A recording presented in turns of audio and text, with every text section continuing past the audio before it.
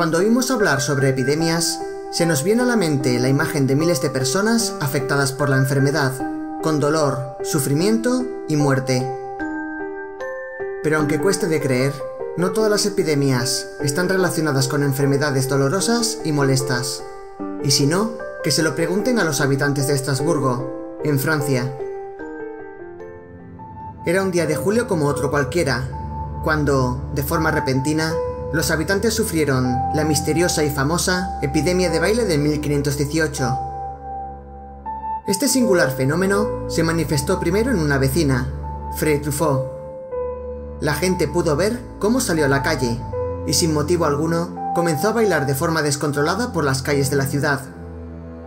Era incapaz de parar, y aunque los movimientos, casi espasmódicos, le causaban dolor, siguió bailando durante seis largos días.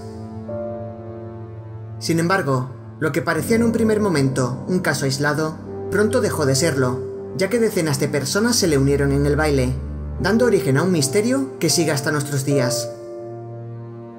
La epidemia de baile se extendía sin descanso, y sus síntomas eran variados y preocupantes.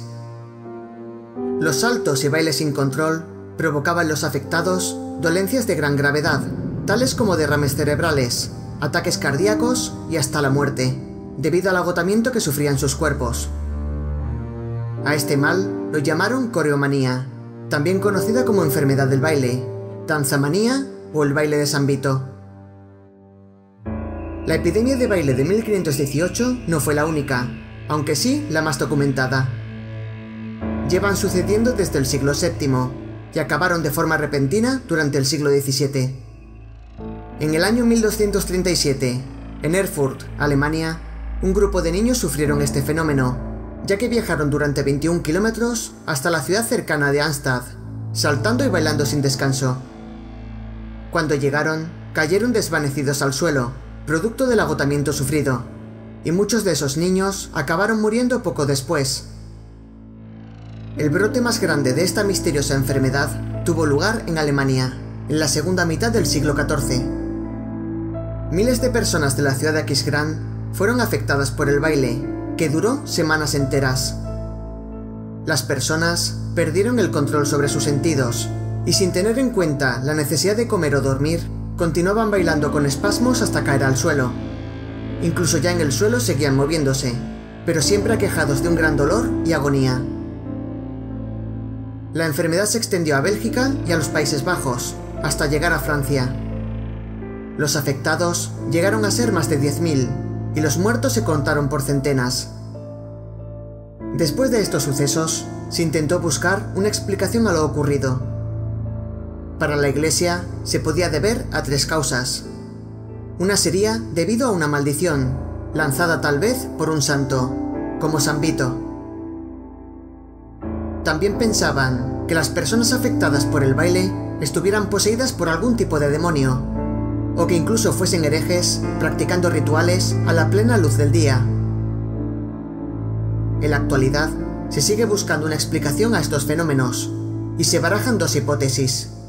Una sería la intoxicación producida por un hongo. Se sabe que el cornezuelo, o ergo, se hallan en algunas plantas como el trigo y el centeno, y que puede pasar al cuerpo humano debido a su ingesta.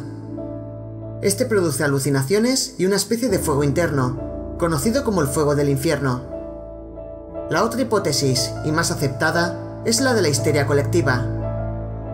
Una combinación de superstición religiosa, hambre y las crisis de la sociedad del momento pudo hacerles entrar en un estado de trance, que les llevó a bailar hasta esos extremos. Una auténtica epidemia psíquica. Aún así, el misterio sobre este fenómeno continúa, ya que no se ha vuelto a repetir en los tiempos modernos. Si el vídeo te gustó o te pareció interesante, compártelo y dale un pulgar arriba. Eso me ayudaría bastante. Si aún no lo has hecho, te animo a suscribirte a mi canal y activa la campanita para no perderte mi último contenido. Hasta la próxima. Cuídense.